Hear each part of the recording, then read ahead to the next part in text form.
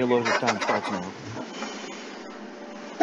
Uh, Thank you to Chair Dromm. I'm deeply disappointed that the Budget Director will not remain for our line of questioning, uh, and I expect to hear back from her. I wanted to just focus on savings in our budget and concerns with predictable costs from cuts. Uh, We have a contracts budget of $16 billion. Seems like before we start cutting our own services with city employees, it might be a good idea to cut all the consultants and wasteful contracts that we've been spending all these years.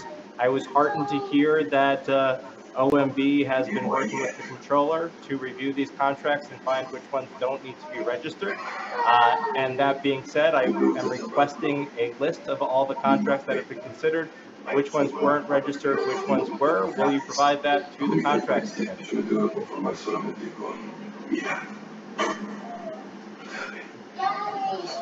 I'm requesting you pause the clock while I'm waiting for an answer. Las artes Vicente. Porque, ¿qué te parece ahí? Y yo Is there anyone who can answer the question? problems with muting, Dan. Uh, we'll certainly be happy to provide you with a list of, of contracts Please state your name for the record. Please state your name for the record. this is, this is Kenneth Godiner, First Deputy Budget Director. Uh, As I said, we will be happy to provide you with a list of contracts that we have registered. Um, and we will also attempt to give you a list of, of contracts that, uh, were held back and, and not registered. It's a little bit more difficult to sort have the negative, but we will attempt to give you those that, that we can identify. Uh, Great, and can I have that by the end of the week? Um, we'll make all uh, deliberate efforts to get it to you as soon as possible, understanding that our uh, workforce is distributed uh, currently, but we will certainly make an effort to get it to you as soon as possible. Okay, uh, that's great in terms of savings.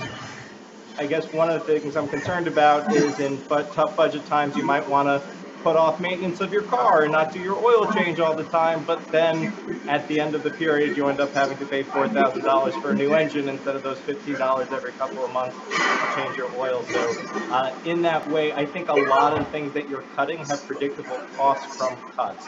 Uh, so I want to just dig in on youth and seniors because I think those are the places where any cut we make will end up costing us in the long run. I want to join with my colleague Majority Leader Cumbo, Debbie Rose, Adrienne Adams on just a, a huge concern over cutting SYEP and the fact that I think we're still looking at a multi-million dollar cut to summer camps and the fact that we're about to go into the summer program.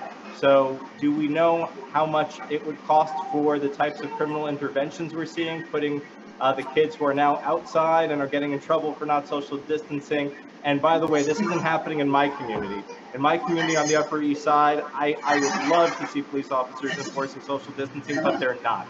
And people are just not social distancing, and it is irresponsible and it is wrong. And when police do walk by, they're not doing any interventions.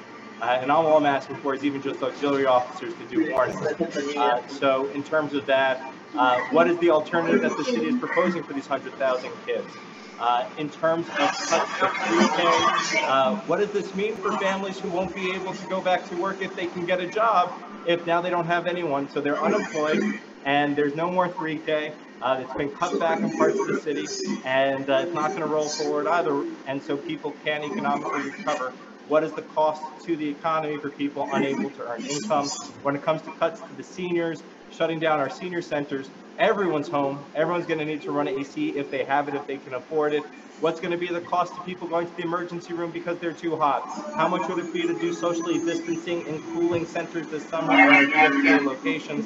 And then similarly, anything we don't do where we're irresponsible with your seniors, that ends up being a Medicaid cost of $15,000 a month at least. Uh, do you have a cost benefit analysis on each one of the cuts you're proposing to youth and seniors? So I'm going to try to address uh, some of the points you, you, you hit on. We are exploring alternatives to SYP. Um, we don't know right now how, how big that would be or what the cost of that would be. Uh, clearly, all of this is balancing the life, uh, health, and safety, which are the mayor's priorities. Um, we also have to uh, address the issue of whether um, certain types of programs we run in the past can be done in a responsible way given the need for social distancing. Can we cut our loaded contracts? Can we, we, spent a third of a billion dollars buying 300,000 iPads when we could have just bought laptops in a non-emergency setting. So going into September, instead of spending half a, a third of a billion dollars, almost half a billion on iPads, could we actually just plan for the future, plan for remote learning, get every kid in the city a laptop, and spend a couple hundred dollars instead of 500 or 600 dollars?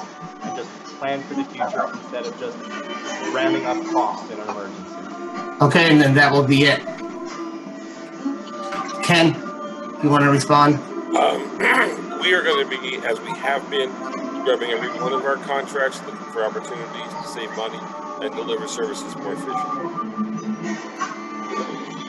Okay, thank you, thank you, Ben. Uh, we'll now move on to the next council member.